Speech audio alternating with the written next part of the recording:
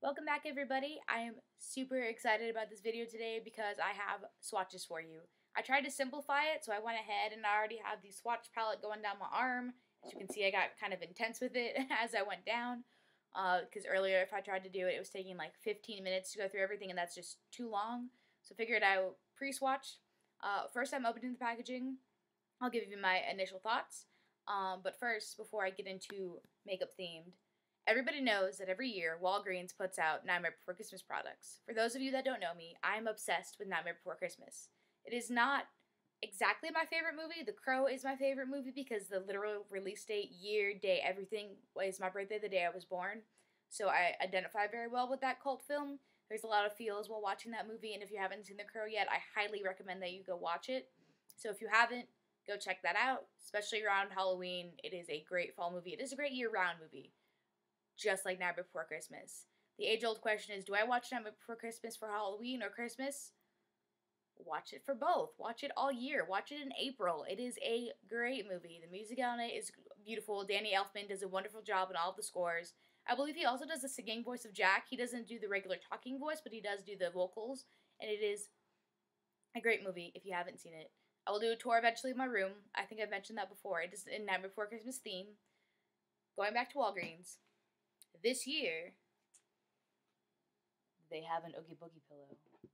For those of you that are fans, there's not usually Oogie Boogie stuff. There's always Jack and Sally, and that's about it. This year, they not only have a Zero doll that plays music, they have an Oogie Boogie pillow. And look at the size of this thing. It is huge. There's also a Jack Skellington pillow that is the same size as this. I'm definitely to get it, put on my bed to go with my night before Christmas comforter. I am so excited about this pillow, guys. I can't even begin to describe to you how awesome. Tommy loves it too. He thinks it's super soft. He's already slept on it a couple times. As soon as I brought it home, he was rubbing up against it. Um, if there's anyone new, Tommy's my cat.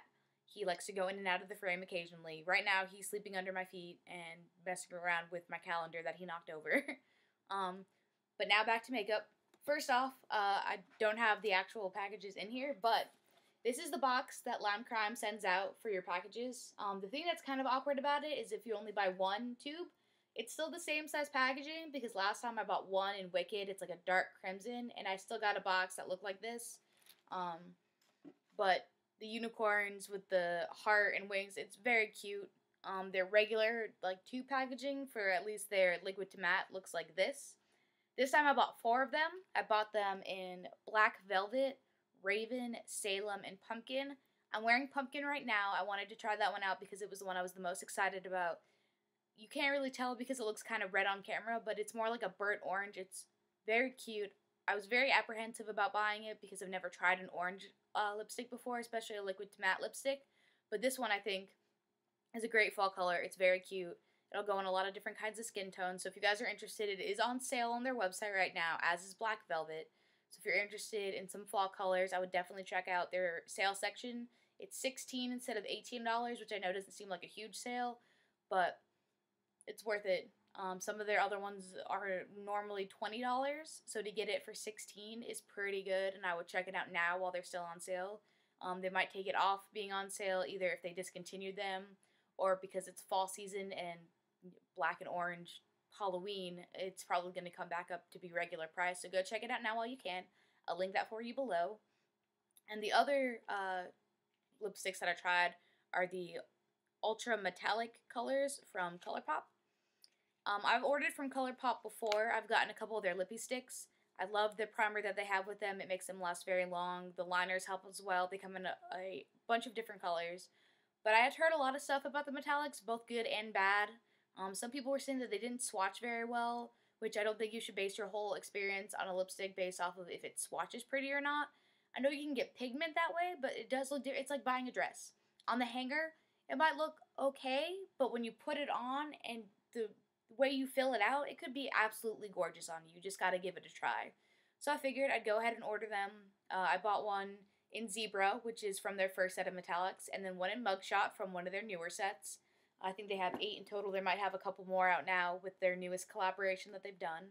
But I'm going to go down these swatches before this video gets too long. So I have them here for you. These top three are ColourPop.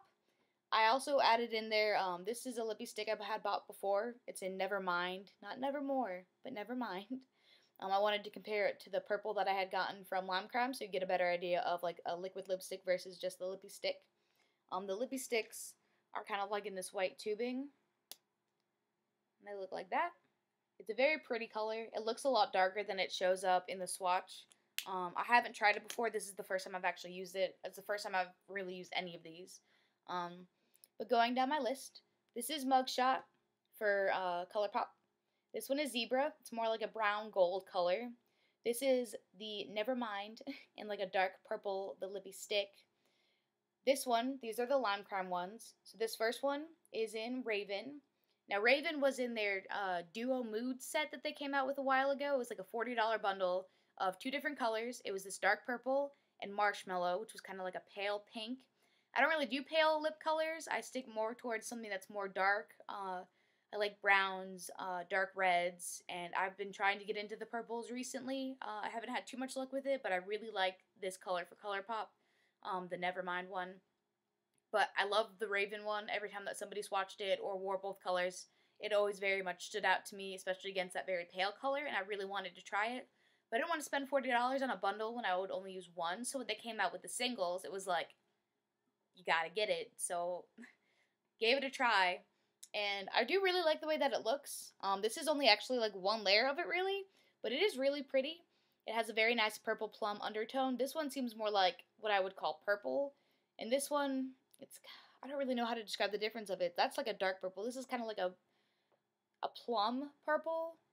Um, where this, like, if you think of like the rainbow and you think of the color purple, that's kind of what stands out to me. It's not really like a bright purple, like, you know, ColourPop has bright purple cards that they send out. Um, I don't really know how else to describe it aside from this one being like a dark matte and this one being kind of like maybe brighter undertones. Um, the one underneath it is their black velvet liquid to matte. You're gonna have to definitely do a couple layers of that in order to get it to show up. This one is Salem. I was going back and forth between Salem and Saddle. Both of them are kind of a brown color. Salem was more brown. Saddle is more like a rustic, uh, kind of like orange brown color. It looked very pretty. I looked at all the different pictures on Instagram. I thought that people that wore it, looks great on them. I might end up getting that one eventually. It's part of their new Living on a Prairie set. You can also buy them individually. You don't have to buy the whole bundle package. So I just got the one, or I wanted to get just the one, but I will eventually. But in this case, I got Salem. Um, it also goes with my fall theme that's going on here. Uh, eventually, I will go to Salem, Massachusetts. My cousin tells me it is beautiful around this time of year, so I'll have to check it out. And this last one is one that I'm wearing currently. This is Pumpkin. It is definitely a burnt orange. It is not a very bright orange. I've never tried anything that's really bright on my lips before, except for maybe a bright purple occasionally. Um, but this one I like a lot right now. I think it's super cute. I think it's wearable every day. Doesn't really matter the time of year. I think you could wear it in spring with a cute pastel outfit. You could probably wear it in the wintertime too with darker colors. Um, I'm definitely going to keep this on for right now because I love it. I think it's beautiful. Um, it's on sale, like I said, along with the black velvet one if you guys want to go ahead and check those out. Overall, I'm pretty happy with the way that the colors look swatched. I don't really know how I'm going to feel about wearing them. I think what I might do next, because uh, I didn't really want to sit here and put them on, take it off, put them on, take it off, because that's just a long video, and if I don't know how to edit that down, I don't want y'all sitting there for, you know, 20 minutes watching me do that. But I will try maybe post some pictures on my Instagram to see what they look like. But you already see what pumpkin looks like. I'll probably do videos of the future where I'm wearing them, and I'll mention if I'm wearing one, which one it is, and what it looks like. Um, but overall, I'm really happy with this haul. I'm so glad I finally got the mail thing figured out, and I could show them to you guys. Here's one last look at what the swatches look like. Those metallics are very shimmery. I wish I could show you guys better. The lippy stick is a great matte. That was maybe one or two strokes of it. Um, it's great with the primer. It sticks very well. Um, these liquid to mattes probably need a couple layers. This is two layers of the pumpkin on right now, I believe. And it's not very streaky. It went on pretty well. Um, I had never really wore liquid lipsticks before. I just would like take out the wand once, go around and see what it looked like. But you're supposed to do right here in the center your cupid's bow, dip it again, and then kind of get your corners. Or you can use a lipstick brush so you're not applying the wand directly. Just to give you guys an idea of what the packaging and the wands look like, these are the metallic packaging. They're bigger than I expected, which is nice. Um, ColourPop is very cheap, but they're cheap in a good way. I really like their products. This is what the wand looks like. You can see that shimmer kind of there on the end. It's smaller than the Lime Crime one.